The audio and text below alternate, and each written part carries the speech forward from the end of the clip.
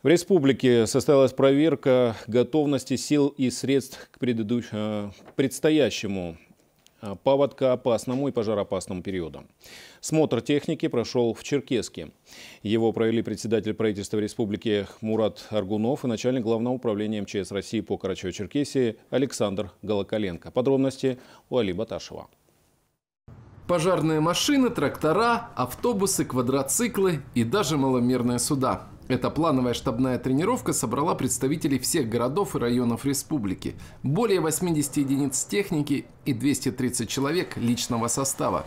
Все они входят в единую государственную систему предупреждения и ликвидации чрезвычайных ситуаций по обеспечению безаварийного запуска весеннего половодья, а также защитой населенных пунктов, объектов экономики и социальной инфраструктуры от природных пожаров. Для обеспечения аэромобильной группировки у каждого человека есть, э, есть у нас э, укладки, которыми обеспечивали. В укладке есть все необходимое, чтобы когда выезжаем на чрезвычайные ситуации, это то подтопление, то пожары, другие нестихийные бедствия, э, всеми укомплектованы имуществом.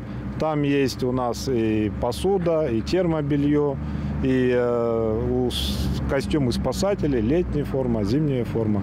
Это для каждого индивидуальной укладки. Начальник Главного управления МЧС России по Карачаево-Черкесии Александр Голоколенко и председатель правительства Республики Мурат Аргунов проверили готовность сил и средств, проинспектировали вопросы системы антикризисного управления, документы по предупреждению ликвидации чрезвычайных ситуаций и дали свою оценку. Провели проверку готовности сил и средств по ликвидации чрезвычайных ситуаций. На сегодняшней площадке было представлено более 80 техники и более 200 человек личного состава. Готовность э, в регионе очень высокая по ликвидации ЧС э, в период пожарной опасности и паводкового периода в регионе. Проводим проверку субъекта готовности к реагированию. Поэтому в рамках этой проверки будут проводиться учения по ликвидации лесного пожара и паводка, паводка в Карачаевском муниципальном округе. А как вы оцениваете результат готовности? Я оцениваю готовность всей территориальной подсистемы Карачаево-Черкесской республики как готова к реагированию по предназначению. Сил и средств достаточно. Степень готовности на должном уровне.